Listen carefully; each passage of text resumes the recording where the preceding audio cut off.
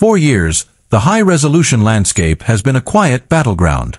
Nikon, with the Z7 II, established a foundation of pure image quality.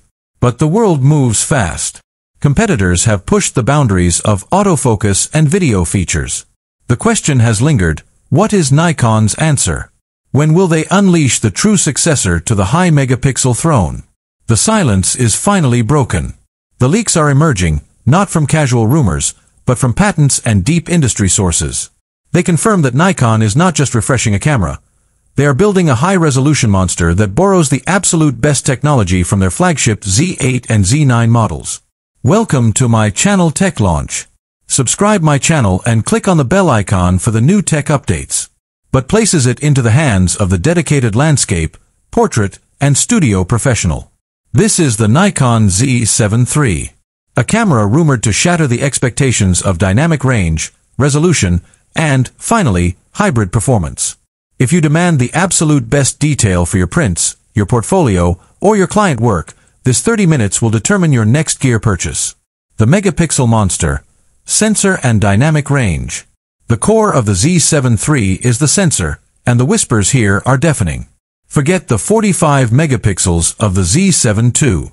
The Z7 III is rumored to feature an all-new BSI CMOS sensor, likely landing between 61 and 67 megapixels. This isn't just about a bigger number. This is about challenging medium format in a 35 millimeters body.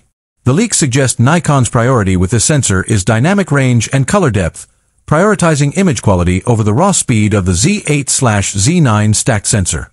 Imagine pulling an impossible amount of detail from deep shadows without introducing noticeable noise. This is the holy grail for landscape photographers shooting at base ISO.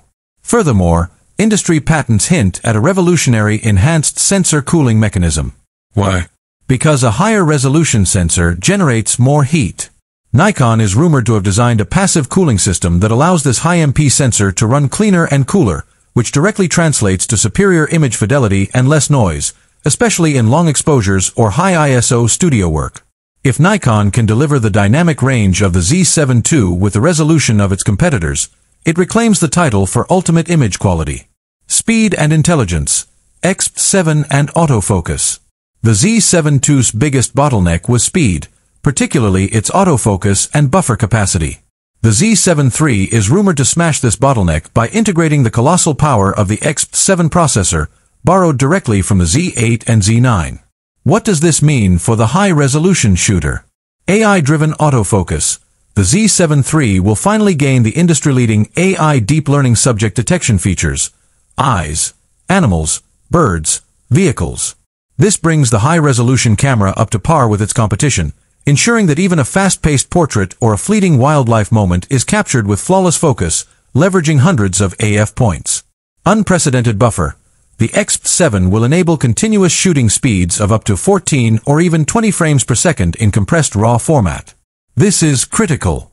You get the speed for burst shooting complex scenes without sacrificing the 61 megapixel resolution, turning the Z7 III into a viable option for weddings, events, and commercial work that demands both speed and detail.